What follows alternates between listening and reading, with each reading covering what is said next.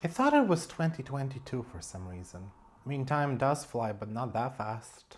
Hello friends, this is Miro and welcome to my channel. Today I wanted to do a couple of plant chores with you as we established last month that plant chores are a thing, as are the cars that are passing by constantly, always, all the time, whether it be day or whether it be night. And that could be a poem basically Shakespeare. Anyways, I do apologize for the background noise if you can hear it. You probably can. It's just, it's a main street. Today I wanted to talk about my Hoya pachyclada and how you can attempt to remove Hoya from coconut husk. I received this Hoya, I think it was on the 28th of January and I recorded the video 29th, the video that was on the 31st of January on my channel about the plant haul. You saw in that video that the Hoya looks good, but I did voice my concern that something could go wrong because it was in a coconut husk and that doesn't work in my environment. Well, it turns out there, is, there are more problems with this Hoya and I actually discovered that Hoya Pachycladas are being sold in the EU and basically as soon as they arrived, they were discounted. So there might be something wrong with this batch. Just saying, it was pointed out to me that look, it looks exactly like mine, like the pot, the, the hanging pot is the same. It usually means it's coming from the same place. The reason why I do remove coconut husk is because it doesn't work in my conditions. I mentioned this in my previous videos. It's very difficult to water. I need a lot of water. It's kind of hot in the room. Not hot, but it's quite warm in the room. There is no sure way that you can do it. So it's kind of like you just have to try it. There are no steps that will help you out. You gotta soak it, try to remove it, soak it, try to remove it. That is the all knowledge. A lot of patience, a lot of soaking, a lot of water. Is it possible to lose a lot of the roots? Yes. You can attempt to save as many roots as possible and the only thing to help you with this is really your patience and how willing the coconut husk is to remove. So water will help you with this. A lot of people just take Hoya that arrived in coconut husk and they just put it in a slightly larger pot with a new mix around it. This is not the method that I prefer or that I practice or endorse. And the reason for that is you will have Hoya and coconut husk and if you put around your mix, let's say your mix is coconut peat, a lot of perlite, some bark. The outer layer will hold on to more moisture than the inner layer. And the issue with coconut husk is that it's not really wicking so it will not be able to wick the moisture from the outer layer. All the roots on the outside of the coconut husk to me look dead. On this Hoya they look very dead. I will show you how they look like. So this could work if the roots were still alive and active, but it's still not the best because the center will be constantly dry. Really, when you water coconut husk, it will stay moist very briefly, but the purpose of the coconut musk is actually this. As I previously mentioned, coconut musk, uh, musk? Elon Musk. Coconut husk is ideal for growers in Southeast Asia because first of all, it is readily available, it is not expensive, and most importantly, it will prevent root rot. There is a lot of humidity and a lot of rain there, almost every day rain, if not every day. Even the dry season in Southeast Asia is quite wet, as we said before, there will be frequent rain, not as much as in, like in the rainy season where you can have rain every day, but quite frequently it will rain. So the choice of coconut husk for them is very clear and it will work in their conditions. They will be able to hydrate the plant every day or the rain will hydrate the plant every day and by the end of the day it will dry out, it's perfectly fine.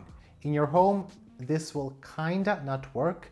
It can work if you have a lower temperature so if it's not very hot and maybe with lower temperature your humidity is higher so you can get away with watering once a week. Again, it depends, and it depends if the Hoya will grow in those temperatures, but we all have to look at the growing season. So what will your temperatures be in summer? If you're living in Europe, most likely 30 degrees of Celsius. So that will mean you will probably have to water every day, every other day if you leave it in the coconut husk and if you have a moderate humidity. Now, I'm not into watering every day. I love my Hoyas, but watering every day is not something that I'm into, so I choose to remove coconut husk. If you only put bark around the coconut husk thinking, okay, this will be the same kinda, but again, what will retain the moisture there? Bark is not very moisture retentive and then we also have to wonder what is the acidity between those two. So what will the pH of bark influence coconut and there's just it's just too complicated. There's so many things to think about, so many things that could go wrong.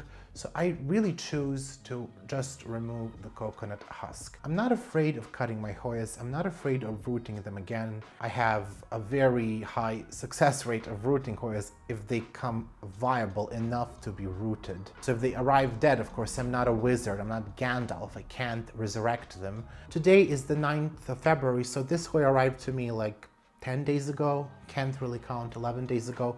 So not even two weeks ago. And it already lost one leaf and I'm not loving that it is yellowing and it seems to be not getting better, that's for sure. Leaves are losing succulency, even though this was watered already twice. I can see that this plant is definitely not taking up enough water. So I'm gonna intervene. It's time. We don't need to wait longer. We don't need to wait for this Hoya to completely fail. We can try and save it now. I do assume most of these roots are dead, so we will try to fix that. I will attempt to remove it from the coconut husk. I don't know if that will be possible. And you can see this leaf is also losing its color. This one has a bit of yellowing as well. I'm not sure if that will show up on the camera without me breaking it. It has a bit of yellowing. It kind of looks like it was possibly shaded by the leaf, by the other leaves and then that the part that was shaded is slightly lighter in color. That's what it looks like to me. The brown spotting doesn't concern me. What concerns me is the circular spotting around it, the circular discoloration. It's like a concentric, it's not a circle, but it's a concentric shape, kind of if you were to offset those two spots. I do think we need to take care of this right now.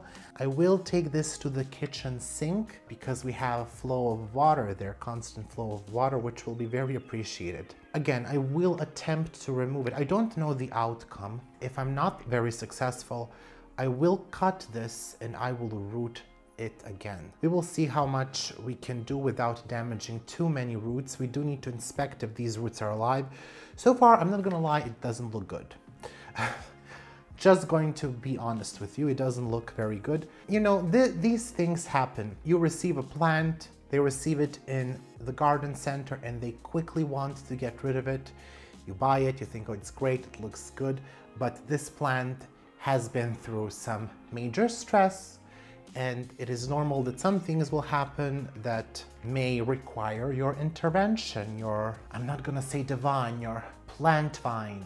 Inter plant vine sounds like it could be a platform. Intervention, this needs intervention. So without further ado, let's go to the kitchen sink. This is our Hoya pachyclada a little bit closer. So now you can see those spots that I was telling you about. That is kind of worrying me, that concentric stuff around it. There is discoloration on several of the leaves, especially on this one. You can see now it's very visible. This part here is worrying me and the underside doesn't look the best. So we will just remove it from here and take a look at the roots of the plant. I don't think it's actually necessary to remove this. I'm pretty sure it will just slide out, but yeah, let's try. Yep. So this Hoya was watered a couple of days ago and you can see it is already bone dry. The good thing is I don't see any root mealybugs. The bad thing is these roots are completely dry. This is a dry root. There's it's not it's not alive anymore. This is what happens when you let the roots get dry. And I don't think there there is anything inside that is alive. Yeah, these are just falling apart as you touch them. There's a spider. Is there a spider? Yes, there is a spider there. Okay, so we will take this so you can see now a bit better it doesn't look good. And there is some moldy stuff growing. And that's all of it is excellent. I'm loving the situation. What we will do is we will take this to the kitchen sink and try to hydrate this so because th that could potentially help us remove it. Okay, so the shot is not the best. We get it. You should be very grateful if my camera doesn't fall into the kitchen sink because like the tripod ends here. So let's hope you don't end up in the sink with the Hoya. I have a bowl of water here. I'm gonna soak it a bit. Oh, I put the tripod on the Hoya. That's nice. The water is not really hot. It's just slightly warm and it will help us hydrate this coconut husk. As I said before, there is no really one way to remove it. It's not a science. It's kind of like trial and error and seeing what works best. And sometimes what really works well with coconut husk is letting it soak for a while. See, this part is already kind of coming off and I can see a root here. So I'm trying gently to remove it. And maybe because, you know, this bark is coming off or this coconut husk is coming off in these small strains, I guess we can try to carefully peel those off. It's really about soaking and peeling and you know sometimes you can see you will have parts that will come off with roots. We will see by the end of the process if we will have any roots left that are not aerial roots. I really don't like that the roots grow into the wall of this and it gets moldy also in there. I really hope that that's mold, that they're not root mealybugs. It does look extremely suspicious, and I'm not loving it. Okay, so, I don't know if you can see that. Well, it will not focus, but that definitely looks like a root mealybug to me. On a scale of 1 to 10, I'm loving this 0. That's how much I'm loving this. I'm gonna try to remove a bit more and I'm gonna inspect these parts. See, that's a bit odd. Hope you don't see my giant face now on the camera. If you do, I'm very sorry. Oh, I'm not loving this. See, this is, this is just not good. None of this is good.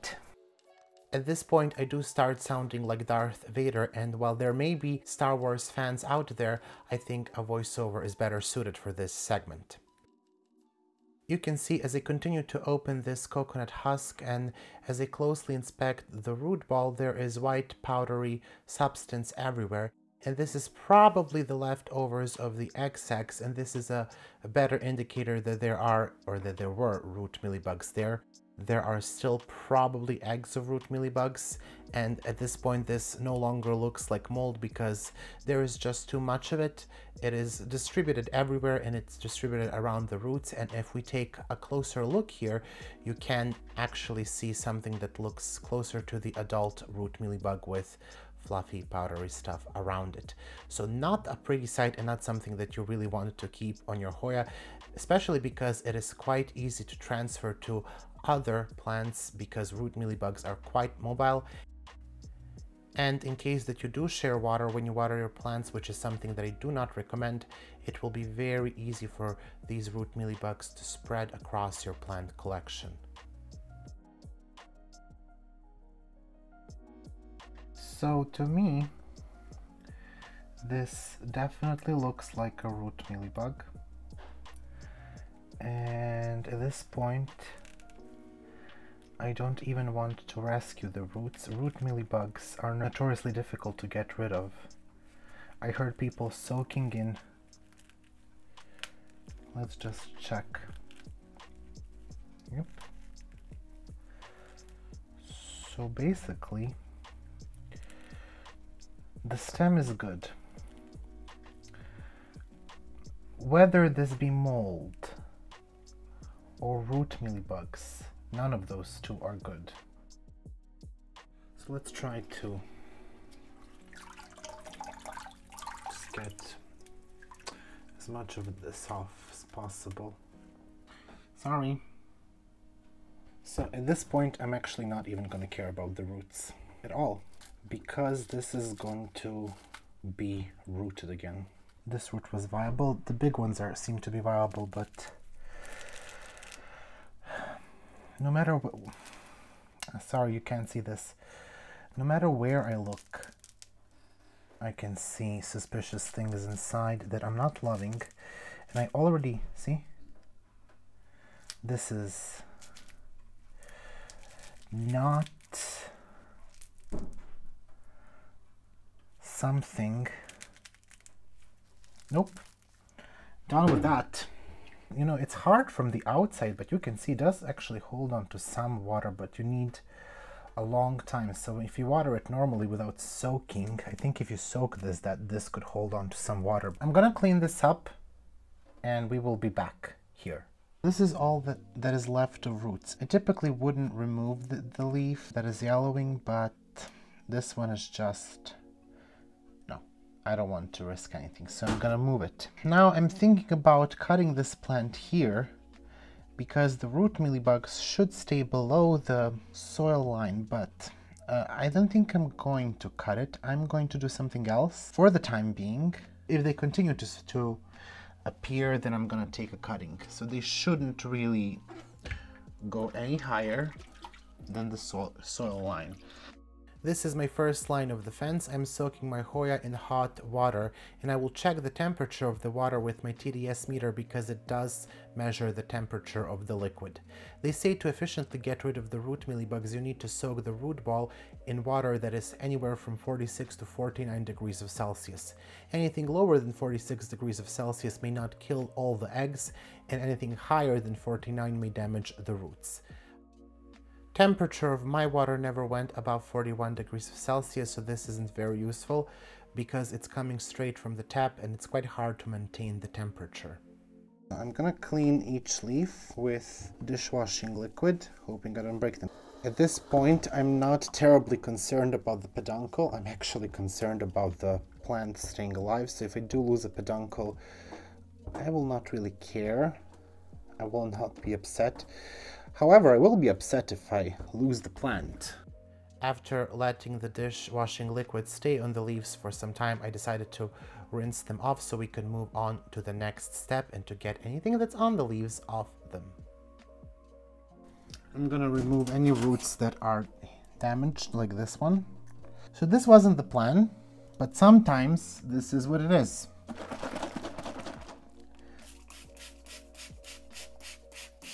I have successfully fought off mealybugs, root mealybugs on my Hoya obscura, but I did cut that and just rerooted it.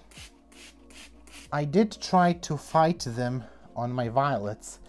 I did have some root mealybugs on my violets. In the end, I had to toss them. It wouldn't work. Nothing worked. Peduncle is still there. If this peduncle magically survives, I will be shook. I'm gonna take hydrogen peroxide and spray it and this is going to be the last step. I have 3% hydrogen peroxide. On my Hoya Obscura I was successful only because I decided to cut it and basically start over the plant. So it does seem that root mealybugs are not to be messed around with. Take them seriously. This isn't something you can ignore. And the sign, you know, the the sign is that the plant keeps looking dehydrated. Let's just spray this. Now I'm just going to make sure that I get full coverage with hydrogen peroxide. Okay, so we treated it with hydrogen peroxide, and this should, in theory, help with fungal stuff as well.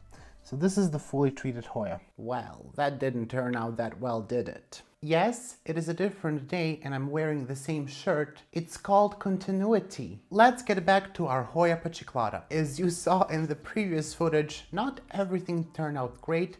We had some unexpected visitors, something that we didn't order but we got as a bonus. I can't say that I'm thrilled about it, but there's nothing really that I can do. Root mealybugs are quite notorious to get rid of and if you search for advice on how to get rid of mealybugs, Usually they tell you to take a cutting and just get rid of the rest of the plant or get rid of the plant altogether. Now, because this is quite a big cutting of Hoya pachyclada, I don't think that all hope is lost.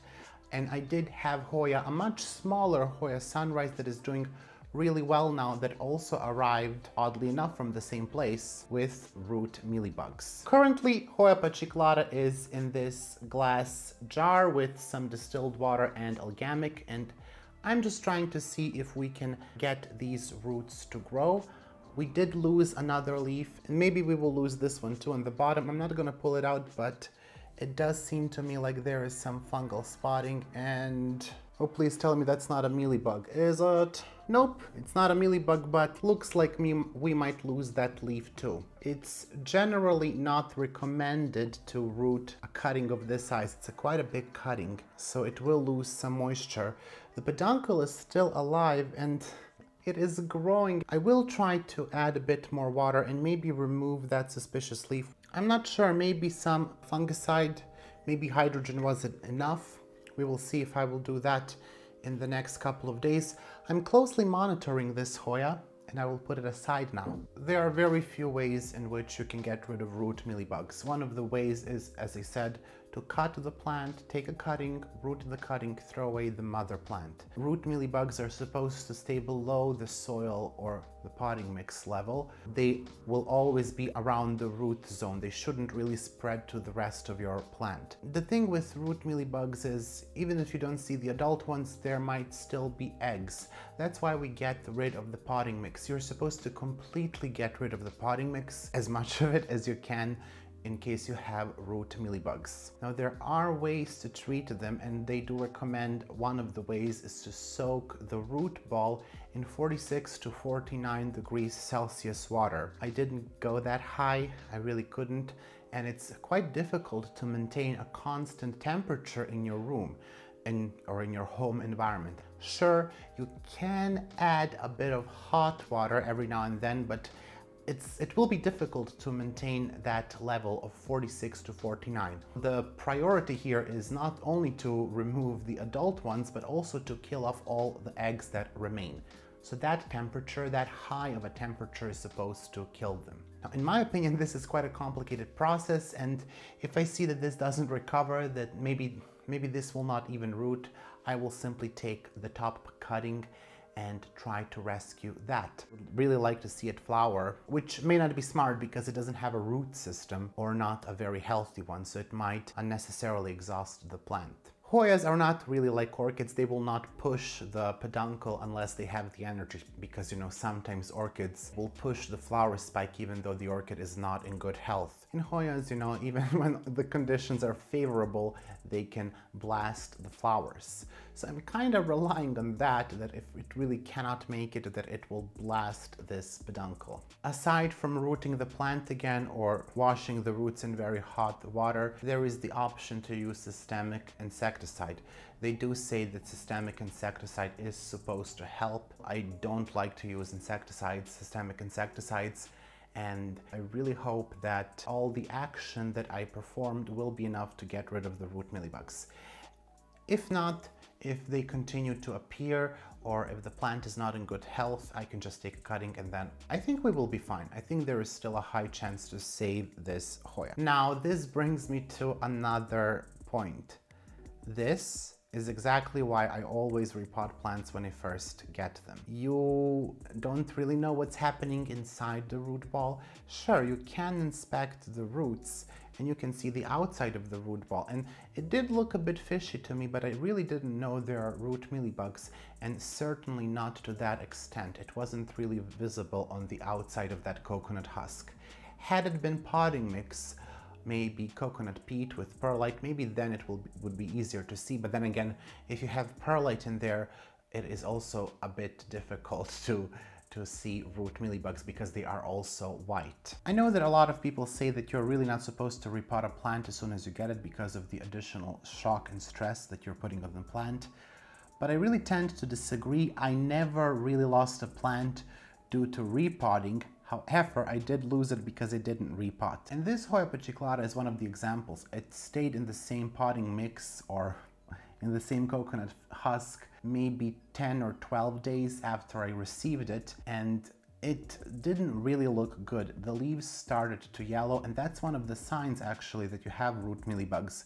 If the leaves start to yellow and drop and the plant looks dehydrated despite you giving it the water. Now, this can be symptom of many things. Yellowing leaves, dehydrated plant can be also sign of under or overwatering, or actually maybe we can just say it's a sign that the roots are dead and plant is not taking up the water. So it's good to know that. It's good to find out these things as soon as you can because if I left it to adjust to my home for two or three months, the plant would probably die by then. It would lose all the leaves because they really rapidly started to yellow. Now, I don't know when this infestation started. It certainly didn't start with me here.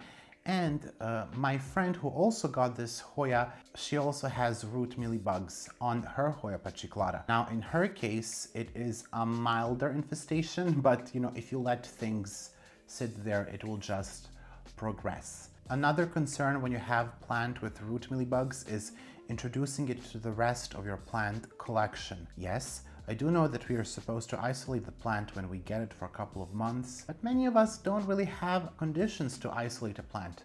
I don't have the room nor the light to isolate a new plant, so I just make sure to inspect it carefully and then I can introduce it to the rest of my collection. Sometimes I will shower it or spray it with paraffin oil or wash with dishwashing liquid. In this case, even if I were to inspect it more carefully than I did, I still wouldn't notice the root mealybugs because they were deep in that coconut husk.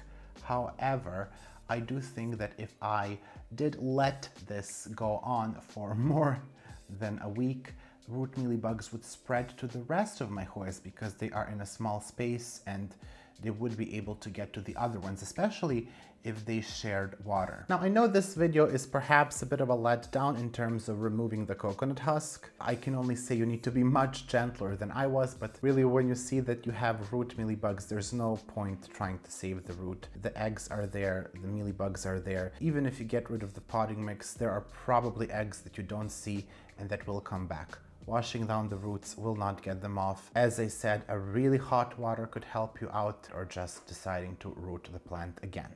I do hope that the video was helpful so you could recognize how root mealybugs look like. I do encourage you to inspect your pots. Root mealybugs are a bit of insidious thing because you don't really see them and some of the signs that your plant shows are also similar to signs that your plant would show if you under or overwatered it. In any case, from my African violet experience, I did learn that they are not a thing to be messed around with because you can lose a lot of plants quite quickly because of course when you realize you have root mealybug infestation it's probably already too late. And simply some plants might not be even able to take the treatment like African violets, they're quite sensitive plant. Hoyas luckily are hardier so I think in this case we will have luck. Of course I will keep you updated and you will find out how this Hoya doesn't. If it blooms, which at this point I will consider a huge jackpot, uh, I will let you know. All right, that is all for this video. no more surprises. I did want to repot this, not this, this philodendron Xanadu, but I think we will have to leave that for some other time. I do have, actually it's not a philodendron, it's Thaumatophyllum, and we have this Thaumatophyllum spruceanum here. I had this plant for a couple of years now, so I just like, it doesn't have space to fit in its old spot, so it will be here for the rest of the spring, I think. I, I don't even know why I'm still talking. Why I'm still, why am I still talking? I hope you enjoyed the video. If you did, make sure to give it a thumbs up. And if you hate root mealybugs, give it also a thumbs up. You can also subscribe to the channel if you're enjoying the content. It means, of course, a lot to me and turn on the notification bell if you're not annoyed by notifications. I also have a Patreon page and the link to that is in the description below. I would also like to hear if you have any experience dealing with root mealy bugs. Were they difficult to get rid of? What did you do? What steps did you take? Let me know down in the comments below. I hope you're having a wonderful weekend and I will see you very soon in my next video. Bye! Have no idea what's wrong with me. I really don't.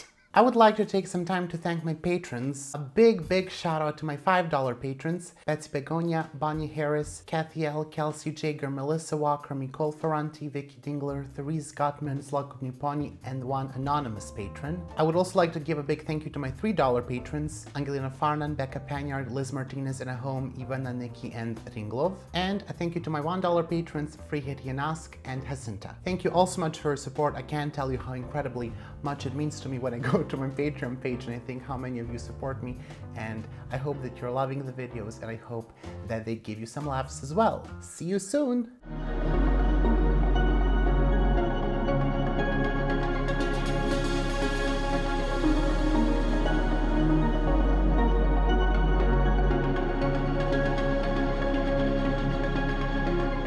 my brain stopped working.